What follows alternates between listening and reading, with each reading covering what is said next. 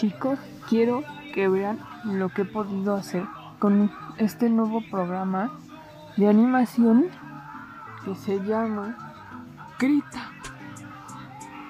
Y estuve practicando por algunos días para poder mostrar que ya estuve haciendo un poquito de animación, por así decirlo, en donde solamente abre y cierra los ojos. Así es como se ve esto cuando así.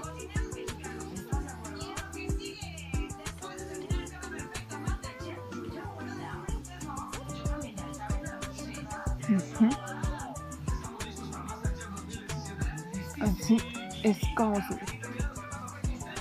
Y si le doy play, esto se ve más o menos así.